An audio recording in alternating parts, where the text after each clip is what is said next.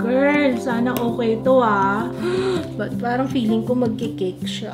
Sige, tiwala lang. Tiwala lang. Okay? Ano pangalan mo? Ay, natapit. Oh my gosh, may mga pagbubuong nagaganap. Kinakabahan ako ah. Bigyan natin ng chance.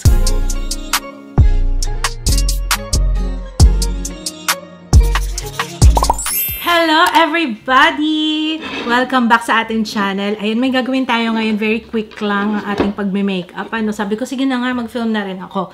So, meron tayong event today. Tapos, merong nag-recommend. Ito daw yung kanyang base. As in, talagang foolproof siguro para sa kanya. Really works on my super oily skin. Baka mag-work din sa akin. Okay, let's see. Meron tayong Lux Organics Matte Facial Mist. We have the primer, Easy Skin Balm. We have the Dazzle Me Skin Tint. Get Ready With Me Velvet Setting Powder. And yung Dazzle Me Setting Spray Matte. Hulas proof talaga. Oh girl, alam mo na, nakasalalay sa iyo ang itsura ko for the entire day and especially sa event. So let's try this. Simulan natin sa Lux Organics Shine Free 3 times matte ultra fine mist. Paano yung sunscreen? Wala. Yung sunscreen stick na lang yung gagamitin natin siguro, no? Tapos na tayo sa Lux Organics Matte Facial Mist. Let's try yung primer. Easy Skin Balm. I have here yung Bisque. Actually, na ano ko na to. Gusto ko siya eh. Gusto ko rin to eh. Okay. Nakalimutan ko na. Ngayon ko lang ulit siya gagamitin. So, kuha tayo ng dense na brush. I'm using tong Conceal and Correct muna ng Get Ready With Me Cosmetics yung brush nila. Let's see. Buong face ba to o areas lang? Ang hindi ko lang bet dito is yung amoy. Amoy Sebo de Macho. Ano? Girl, sana okay to ah. Nakasalalay sa mga products na to ang itsura natin hanggang mamaya. Grabe, ang ano lang talaga nung amoy nito, amoy Sebo de Macho talaga. Lumipat ako sa travel brush kasi mas malaki para mabilis tayo. And para mabuff ko talaga siya ng maayos sa skin. Ginawa ko talaga ng video kasi baka chinacharot mo lang ako dyan ha. And then, so ito na yung pinaka-primer natin. Parang ganun. Hindi na ako masyado maglalagay sa leeg. Next, yung Dazzle Me Skin Tint na tayo. Ang gamit ko for today is nagme-mix ako. Hindi ko makuha yung exact na shade. Ngayon, ang gamit ko is Little Bone yata. Ay, Little... little Bone! Light Bone! Diyos ko po, Jai, ano nangyayari sa'yo, Jai? Hindi ko rin alam, Jai. Maputi yata sa masyado siyang yellow. Pero sige, teka lang. Let's blend. Sabi ko nga sa inyo, parang nagbago na yung aking skin tone. Yung mga foundation ko dati, parang masyado na siyang madilaw. Yun? Girl, sana okay ito ah. Feeling ko kinakabahan na siya kung sino man yung nag-recommend. Kinakabahan na po siya, no, kung mag-work sa akin yung technique niya. Pero hopefully, tama naman yung pagkaka-apply ko. Okay naman na yung primer, no? Parang bilis lang maubos nito, no? Bali, mura lang naman siya. Nakita ko, wala pa siyang 200 ngayon, naka-sale. Grabe yung True Flex Skin Balm. Pinaganda niya yung coverage ng skin tint. Nagmukha na tuloy siyang foundation, no? Ang galing. Tsaka parang kumakapit talaga sa skin. Ngayon ko lang na-try to, kaya, mm, I mean, na-try yung ganitong way na skin tint yung ginamit ha. Parang pinaganda niya talaga lalo yung skin tint, yung coverage niya. Tsaka mas kumakapit ngayon yung product dun sa skin. Pero tingnan natin kung magmumukhang makinis kasi parang feeling ko But parang feeling ko magkikake siya. Sige, tiwala lang. Tiwala lang. Okay? Honestly, may nakikita akong nagsasettle sa mga visible pores ko. Pero tingnan natin, baka kailangan lang i-blend pa more. Okay, I think we're good. So far, yung mukha ko parang sobrang matte na na. Hindi ko siya masyadong bet dito banda sa nose. Parang na-emphasize yung mga whiteheads ko.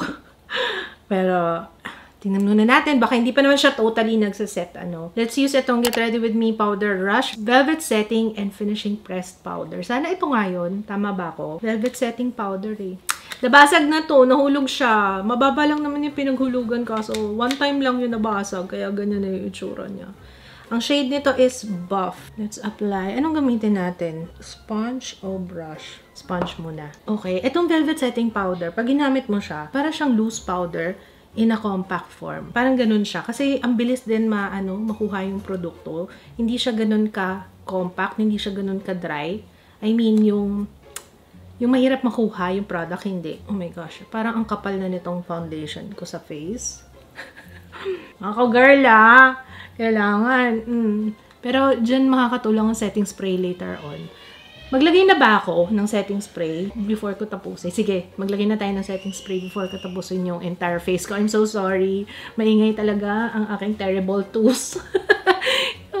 yung toddler ko, rinig na rinig. Tapos, Dazzle Me Setting Spray yung matte. So, I have here yung matte fix. Shake muna natin. So, babalik ako mamaya. Tapusin ko lang yung aking entire face. Emergency, emergency, emergency, emergency. Guys, medyo pinunasan ko lang ng konti yung aking eyeliner. Tingnan nyo na. Ano bang remedyo sa ganito? Oh my gosh, wait lang. Kuha tayo ng moisturizer. Ito na lang, sunscreen. Ay, moisturizer na lang. Tingnan natin kung anong makaka, ano kasi. Minsan talaga nangyayari yung mga ganyan.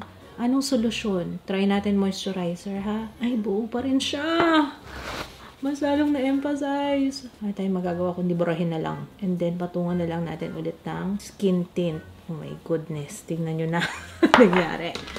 Kasalanan ko naman kasi medyo binura ko yung eyeliner ko dito. Tapos yun, yun na yung nangyari. Let's try. Sige, re-apply ng skin tint. Sana maayos pa siya.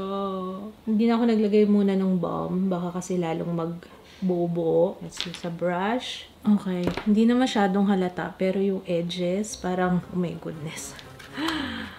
Ano pangalan mo? Ay, nanap eh.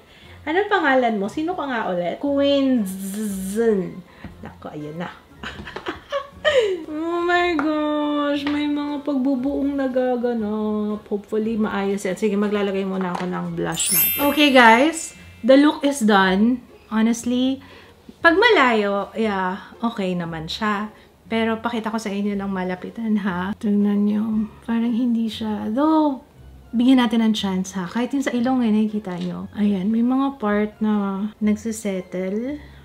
I don't know. Nung naglagay ako ng blush, na ganyan-ganyan na siya sa cheeks ko. Pero, hindi naman siya halata pag malayuan. Pag talagang malapitan lang talaga yung tingin, na, Diyos ko po, yun ang medyo kinakabahan ako. Pero let's see later on kung kumusta. Pero sa totoo lang, kinakabahan ako. Baka kasi pag nag-oil up, bigyan natin ng chance. Kasi baka pag medyo nag-oil up na ako, dun na mas gumanda siya. Kaya huwag muna natin siyang hatulan. Ano, maglalagay ulit ako ng setting spray. Hintayin natin yan mag-set. Tsaka parang ang puti ng mukha ako. Hindi ko lang kung sa lighting lang natin. Pero tingnan din natin siya sa natural lighting later. Ah, kasi parang masyadong maliwanag yung mga ilaw ko. Parang feeling ko, alam niyo yun, sobrang white cast. Alam ba kung mag-white cast tayo sa event? Usually may mga flash yung picture doon. Oh my goodness. So right now, it is 12.43. Tara na, let's go. Huwag lang titingnan ng malapitan kasi halatang halata. Pero pag malayo, okay naman siya. Ang pak na pakaking funda natin. And mukhang hindi ako mag-oil up. Feeling ko lang.